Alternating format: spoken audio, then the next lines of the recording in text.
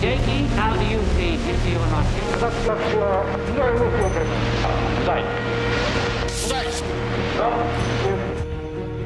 The action was to make China come to her senses, not out of hatred, but out of love. 这个梅津司令官的这个命令，说是这个满洲国皇帝不能上自己祖坟去。一九四五年八月，日本无条件投降后，曾谋求着自主审判，企图为相关的战犯洗脱罪名，但这种做法就如同强盗自己审自己一样荒谬。所以在短短的十多天里，美军司令麦克阿瑟便下令逮捕了上百名日本战犯，其中前首相东条英机无疑是罪行最大的首恶，也是侵华战争的罪魁祸首。当得知自己被通缉时，东条英机曾试图拔枪自杀，但老天并没有让他轻易地逃脱掉法律的制裁。由于子弹恰巧和心脏擦边而过，加之美军全力抢救，前前后后一共给他输了六次血，最终使东条英机得以暂时回到人间，接受法律的审判。一九四六年五月，由中英美等十一个国家组成的远东国际军事法庭在东京正式开庭，其中以法官梅汝敖为首的十七个人代表中国参与了此次审判。正当法庭宣读起诉书时，甲级战犯大川周明却一会儿哭一会儿笑，甚至还给前排的东条英机一个脑掌。一番装疯卖傻后，他因为精神失常，成功逃脱了制裁。由于东京审判采用的是英美法律体系，讲究的是无罪推定，哪怕是战犯，也要先假设无罪，然后通过一系列的人证和物证去推证他们的罪行。而日本在投降后已经意识到会被追究战争责任，于是便下令销毁了所有相关证据资料，哪怕是士兵的一本私人日记也被烧得片纸不留。这从而使检方搜集证据的工作变得是异常艰难。而二十八名甲级战犯面对指控，也都厚颜无耻地宣称自己是无罪的。记得梅汝敖临行前曾对好友讲过这么一番话。说戏文里有尚方宝剑，可以先斩后奏，但现在是法治时代，必须先审后斩，否则我真要斩他几个，方解我心头之恨。由于中国遭受日本侵略的时间最长，遇难的人数最多，因此呢，在东京审判中，检方投入精力最多的举证就是南京大屠杀事件。一九三七年十二月十三号。日军攻陷了南京之后，对中国的无辜百姓进行了大规模的蹂躏、折磨和屠杀。那一幕幕惨绝人寰的悲剧持续了整整两个月，被杀害的中国人至少有三十万以上。当时的美国牧师约翰·马吉曾冒着生命危险，用一台十六毫米的老式摄影机拍下了南京大屠杀的许多真实影像。期间可见日军凶残的手段已完全超过了人类所能理解的极限，而松井石根作为当时日军最高的指挥官，无疑是南京大屠杀的罪魁祸首之一。在此次审判中，约翰马吉不远千里来到东京为南京大屠杀出庭作证，可面对铁证如山的事实，松井石根仍以各种理由搪塞逃避，强颜狡辩，说自己当时在养病。对日军的残暴行径并不知情，丧尽天良的他甚至声称日本和中国的战争是属于大家庭的内部问题。日本之所以侵略中国，完全是恨铁不成钢，是出于一种哥哥对弟弟的爱。一九四六年八月，远东国际军事法庭对关东军的相关战犯进行了审问，在侵占东北、缔造伪满的一系列事件中。土肥原贤二和板垣征四郎是首当其冲的罪魁元凶，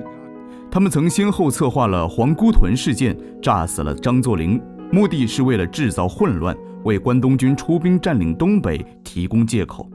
接着，他们又策动了九一八事变，推动日本对中国的全面侵略，同时还携诱着溥仪成立了伪满洲国。在受审的两年间，奸诈狡猾的土肥原贤二始终是沉默不语，问啥都是三个字：不知道。板垣征四郎则找了十五个老部下为自己作证，企图洗脱罪责。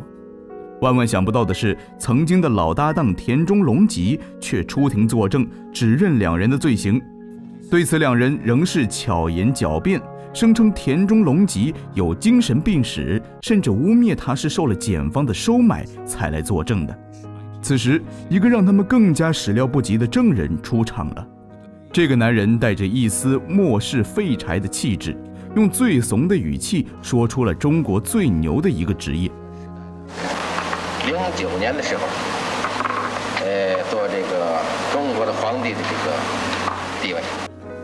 在接下来的八天里，溥仪详细陈述了土肥原贤二和板垣征四郎为首的关东军是如何诱骗他到旅顺，如何软硬兼施、威逼利诱，最后炮制出伪满洲国的整个经过。接着，他还控诉了日军限制了自己的人身自由，哪怕连上个祖坟都不给去。除此之外，曾任北平市长的秦德纯也提交了关于七七事变的大量证据和证言，揭露了日本侵略中国的累累罪行。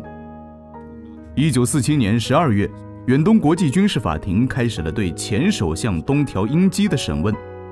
在这个历史性的时刻，法庭外甚至出现了不少倒卖旁听券的黄牛贩子。作为头号战犯，东条英机曾策划了九一八事变。并且在七七事变之后，率领着最精锐的部队侵入中国。后来，他还下令在东北成立了臭名昭著的七三幺部队，对着中国的百姓进行了惨无人道的人体试验。一九四一年，他用无数中国人的鲜血换来了天皇的青睐，成为了日本首相。同年，他下令偷袭珍珠港，发动了太平洋战争。在远东军事法庭对甲级战犯长达数十万字的起诉书中，一共有五十五项罪状，其中东条英机就占了五十四条，可谓是恶贯满盈，罄竹难书。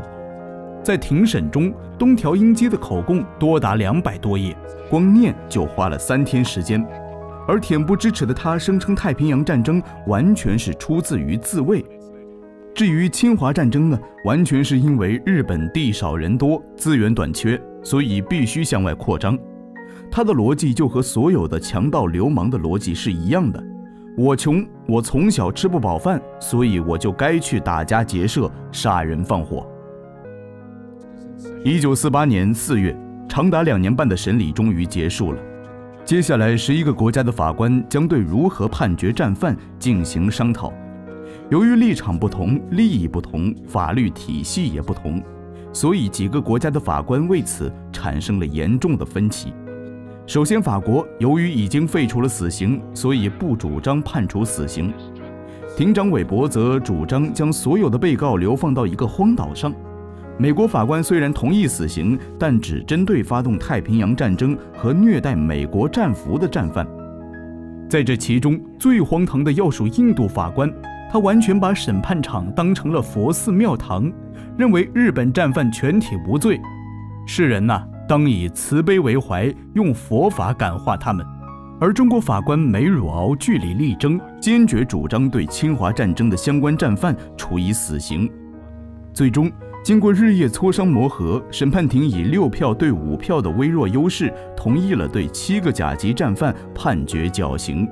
其中包括东条英机。板垣征四郎、土肥原行二、松井石根等人，另外还有十六人被判处无期徒刑。而在东京审判中，争辩最为激烈的问题有三个：首先，日本辩方认为盟国无权对日本进行审判，因为胜者审判败者，强者审判弱者是不可能保证公平公正的，所以审判应该由与战争无关的中立国来进行。首席检察官纪南对此反驳道：“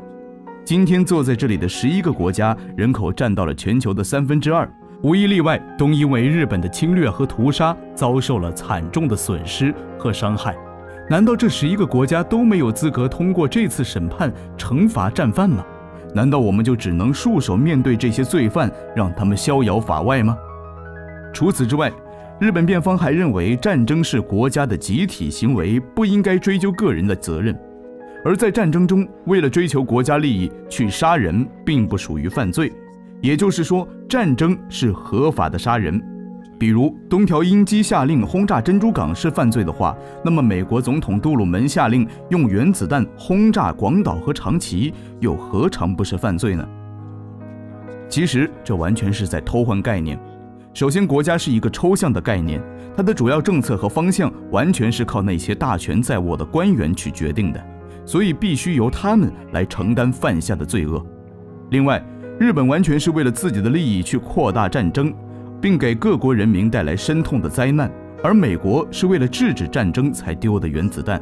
所谓行霹雳手段，显菩萨心肠。